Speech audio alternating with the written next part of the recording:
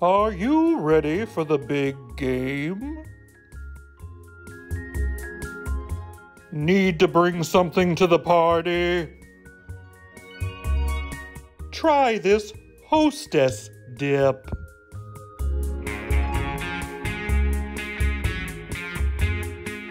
One block cream cheese. Three tablespoons milk. Give it a stir. Two teaspoons lemon juice. One teaspoon Worcestershire. One tablespoon mayonnaise. Teaspoon horseradish. Teaspoon mustard. Little garlic salt. And paprika. Mix it up, Jimmy, and serve. It's sure to be the hit of the party. And what do you think of hostess dip?